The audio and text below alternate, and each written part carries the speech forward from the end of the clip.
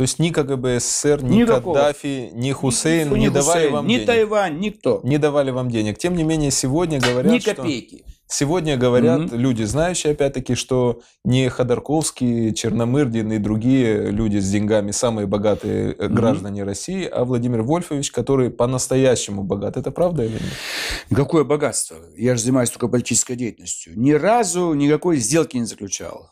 Ни одного контракта не подписал.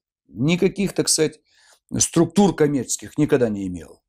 Все, чем я занимаюсь, это вот до 89 года я э, на юридической работе, адвокат или в государственных учреждениях.